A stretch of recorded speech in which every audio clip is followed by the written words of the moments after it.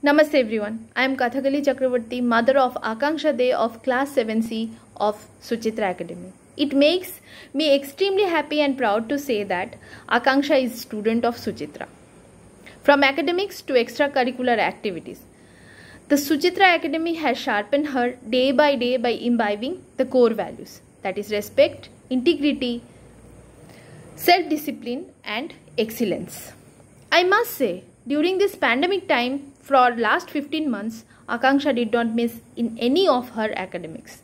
The methodology that school has taken, along with the intent of giving attention to each student, is commendable. The staff, the teachers deserves a standing ovation for their de dedication. Special mention to the project based learning approach that they have taken.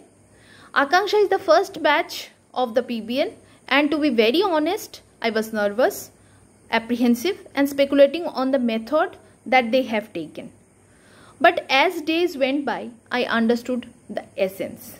The PBL is beyond the bookish knowledge. Here, the students get to do practically what they have learned in the books. Latest being designing an electric circuit, which I must have done in my inter days or in my college days. The PBL is beyond bookish knowledge, not only in the science subjects, but also in other subjects too. Last year, they have done a Suchitra hut where Akanksha learned how to become a social entrepreneur. In that, her artifacts got sold and she contributed to the society. She has done a charity through this. I can conclude one very important thing is that through the PBL, Akanksha has learned coordination, cooperation, collaboration, and above all, appreciation for each other. I am very, very thankful for school for taking this approach.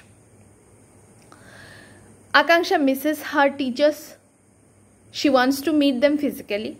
She wants to meet her friends physically. She wants to meet her bus uncle, her ayamma, her extended family. We are looking forward to meeting you all in the new normal. Thank you.